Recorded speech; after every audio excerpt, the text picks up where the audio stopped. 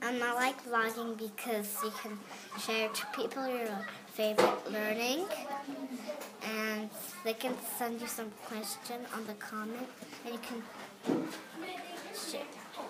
tell them back. So why is that different from your paper portfolio? Because the paper portfolio, you need to draw, and or you can write. It's just just to show yourself you're learning, or maybe other people. I don't know. Go.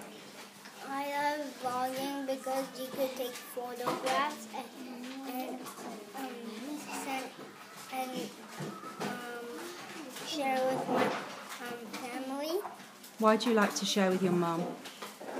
because because because because I wanna because I wanna let my mom know about all my what I'm doing.